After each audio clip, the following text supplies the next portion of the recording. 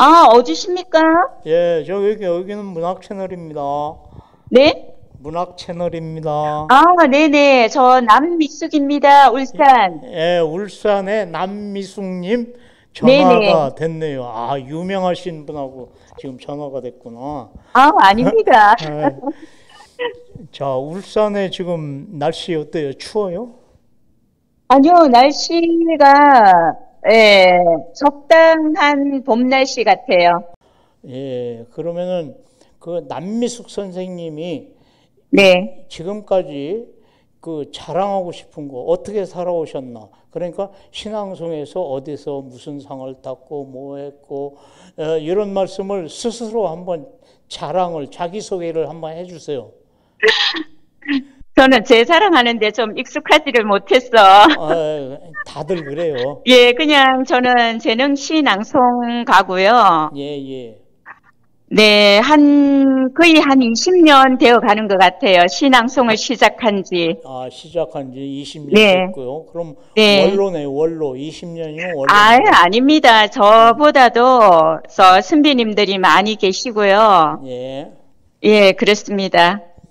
예, 그 20년 되는 동안 그 특히 자랑할 만한 어떤 무대나 또는 상을 탄 그런 아, 저, 어, 무대야 뭐 엄청 많지만, 예, 예, 제가 이, 어, 2000, 2010, 19년도인가, 예. 예, 그 시낭송 명인으로, 예. 예, 그 상을 받았습니다. 아 신앙송 명인, 네네. 예, 그 글쎄요, 저는 잘 그 좀 생소한 분야고요.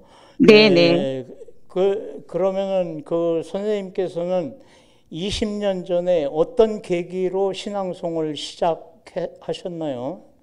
네, 제가 학교 다닐 때부터, 네. 어, 신화, 뭐, 이런 걸 굉장히 이제 문학 소녀였었죠, 그때는. 예, 예. 예, 제가 그때 그러니까 그 우연히 울산에 있는 백화점을 지나가는데 예. 예, 그 백화점에서 왜 어, 문화센터를 하고 있잖아요. 예. 예, 우연히 그 현수막을 보고 제가 찾아가서 신앙송을 시작한 것 같습니다. 아, 그러면 그때 이제 선생님이 있었겠네요? 네네. 어, 어떤 선생님이죠?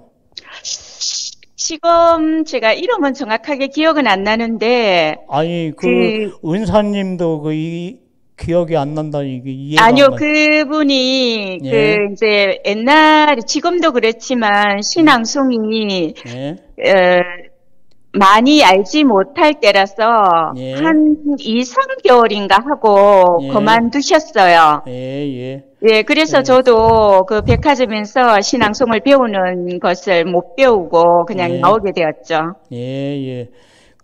그래, 그첫 번째 이제 그 접한 시는 어떤 시였어요? 네, 제가 처음에 접한 시는 네, 김용택 시인님의 예. 사람들은 왜 모를까라는 그런 예. 시였어요. 에, 사람들은 왜 모를까? 김용택 시를 가지고 이제 네. 처음에 이제 입문을 하셨고, 네. 에, 그동안 이게 그 신앙송을 쭉 하면서 에, 이 외우는 시는 전부 몇 편 정도나 될까요?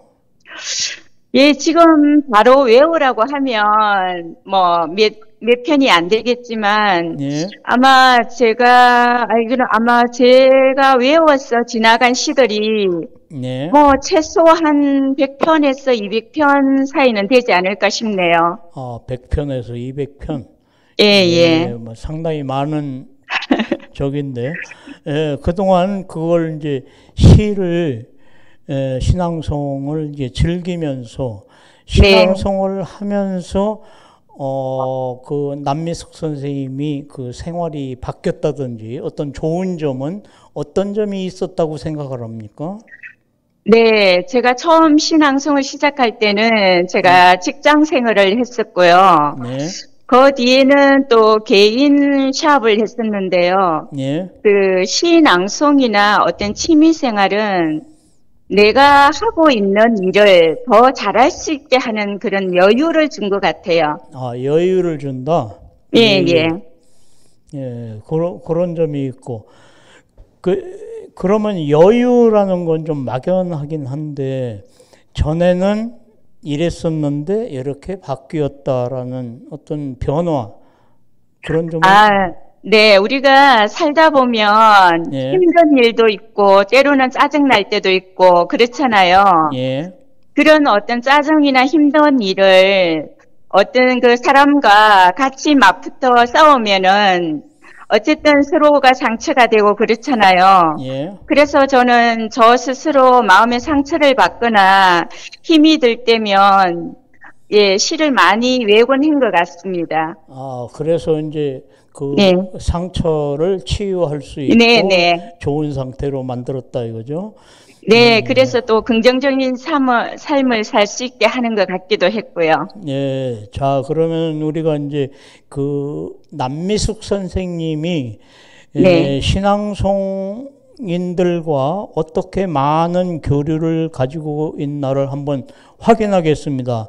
자, 이 서울 지역에 있는 신앙송가 중에 어떻게 생각나시는 분 이름 한번 대보세요.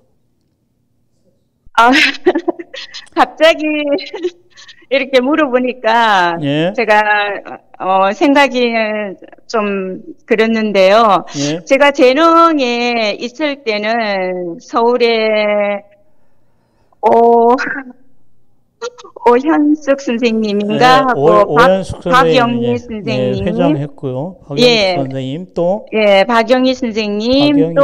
그 전라도 청산도를 불러신 예. 아, 그분을 제가 굉장히 사랑하는데 아직도 아, 갑자기 그런 걸 좀 진작 일러 주셨으면 제가 좀 아유, 준비를 아니, 했을 텐데. 아니요, 이 즉흥적으로 물어보는 게 정답이 나옵니다. 자, 예, 김태근 선생님도 계시고요. 자, 지금 남미숙 선생님은 서울에 있는 낭송가들을 이름을 잘 모른답니다. 지금 한 세 사람하고 이제 말았는데, 자, 그러면 이제 경기도나 저쪽으로 가겠습니다. 또 충청도나 이쪽에 에, 아는 사람 누구누구 있을까요? 충청도 쪽에는 잘은 모르겠는데요. 예, 예, 그렇고 제가 알기로는 대구의 오순찬 시- 선생님, 예. 대- 전라도 쪽에 유미숙 선생님, 아, 미숙이. 그래. 지금 이제 제가 오늘 네. 이제 이 컨셉을 아, 미숙이라는 이름을 가진 분들에게 전화를 해야 되겠다라고 이제 마음을 먹었어요. 아, 네. 그런데 이제 그 우리 남미숙 선생님 이제 전화를 했고 그 중에 하나가 또 유미숙 선생님 또 이름이 네네. 나오네. 네네. 아, 우리 울산에 계신 남미숙 선생님이 에, 지금 전주에 사시는 유미숙 선생님 이름을 거명을 했습니다. 네. 아, 자, 또 다른 동네 미숙이는 없을까요? 네. 네, 다른 데 밀수기는 제가 잘 모를 것 같아요. 그, 럼 경상도 쪽에서 에, 네. 같이 그 신앙송을 하는데 에, 같이 이제 호흡이 맞고 열심히 같이 하는 분 또 누구 누구가 있을까요? 어, 지금은 거의 제자들을 많이 가르치고 있고요. 예. 뭐 행사를 주로 이제 어, 대구에서 또 가끔 이제 그 오순찬 선생님하고 예. 이런 그 대구의 팀들하고 공연을 좀 하기도 하고요. 예. 아, 지금 뭐 작년부터는 아시다시피 코로나 때문에 예. 거의 공연을 못 하지만 뭐 여기 제가 살고 있는 울산에서는 예. 뭐 제가 재능에 있을 때는 뭐 박순희 선생님, 임지숙 선생님, 뭐 구영희 선, 구, 구경영 선생님, 뭐 여러 선배님들과 함께 했고요. 예. 예, 지금은 또 저희 아카데미 회원들하고 네. 가끔 이제 행사를 만들기도 하고 또 초대되어서 행사를 하기도 하고 예. 또 제가 그 태화강 신앙 소 문화협회를 제가 창립을 했거든요. 예. 예, 그 회원들하고 한 제가 이제 회장을 맡고 있을 때는 같이 예, 행사도 많이 만들고 기획하고 예, 그랬습니다. 예, 예. 자, 그, 그러면 지금 이제 이름 나온 분들의 거의 대부분을 제가 다 알고 있거든요. 아, 그러세요? 예. 저기 유미숙 선생님한테도 물어볼 거고 그리고 네. 이제 그 뭐 구경영 선생님 뭐 대구에 네. 계신 분들 다 이제 예, 예. 만나면은 남미숙 선생님이 선생님을 뭐 꼬집었냐 또는 뭐 안 꼬집었냐 차, 차는 자주 사더냐 뭐 이런 거 내가 물어볼 거예요. 네. 그러면 이제 거기서 아뭐 좋은 얘기가 나오면 역시 우리 남미숙 선생님은 훌륭하신 분이구나 이렇게 느낄 거고 그쪽 반응이 시큰둥하면 에이 내가 전화 잘못했구나라고 생각을 할 겁니다. 자 전국에 네. 있는 에, 시청자들에게 우리 남미숙 선생님이 하고 싶은 얘기, 야, 나 이런 경우에 이런 때를 이용해서 나는 이런 얘기 하고 싶어. 한번 해보세요. 네, 제가 요즘 그 어르신들 수업을 제가 하고 있는데요. 예, 그 우리가 지금 우리가 현 시대에 너무 이제 각박하게 살다 보니까 예, 조금은 답답하고 이런 경우가 참 많으실 건데요. 예, 어, 이제 어떤 사람은 뭐 문학인이 신이 뭐 이렇게 하면 솔직히 없어도 살 수 있는 것이긴 하잖아요. 예, 하지만 어, 우리가 살아가는 데는 이 문학이라는 거, 그리고, 에, 문화라는 게 없으면 예, 우리의 삶이 얼마나 이렇게 정말 우리가 생각하는 것처럼 각박하고 또 어떤 힘든 일을 해소할 수 있는 예, 그런 시간이 없을 텐데요. 예, 제가 요즘 그 라디오 교통방송에 일요일날 제가 그 문화 산책을 하고 있거든요. 예, 울산 문학에 대해서. 그래서 제가 그때마다 제가 가끔 이제 시를 들려주기도 하는데요.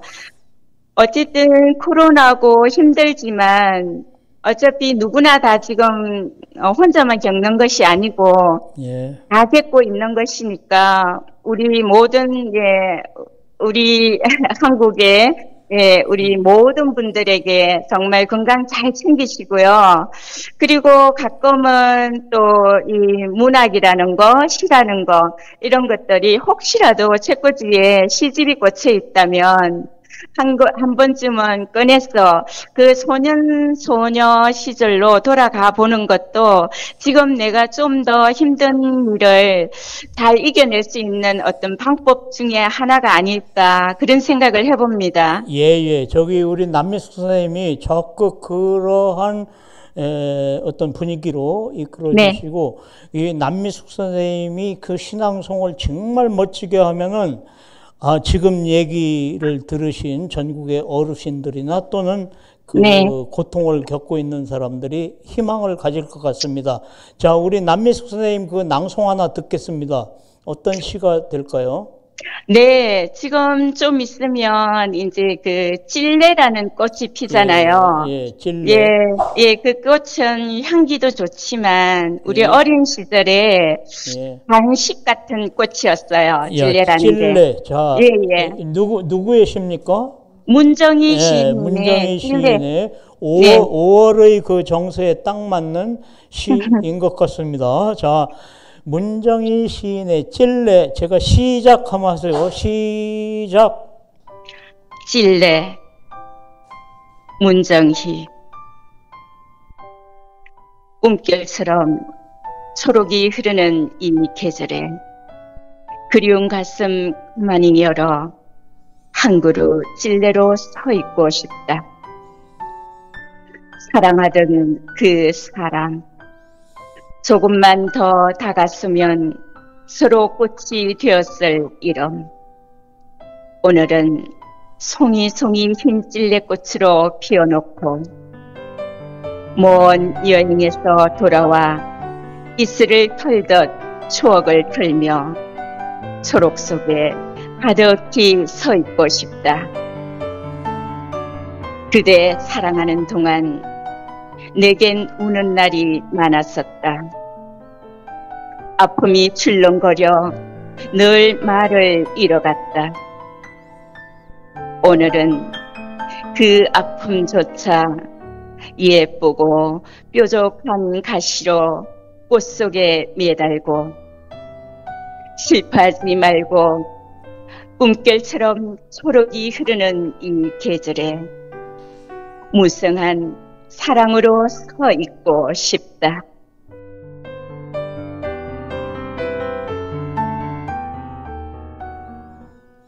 예, 아주 뭐 잘하시네. 그 약간 그 경상도 그 발음이 이제 탁탁 나와서 좀 그랬는데 그래도 이제 아주 훌륭하게 낭송을 했습니다.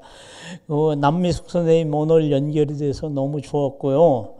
네, 예, 전국에 있는 그 신앙송가 미숙이라는 이름을 가진 낭송가들을 한번 모아보세요. 예, 네. 그, 그분들 다 훌륭하신 분들입니다.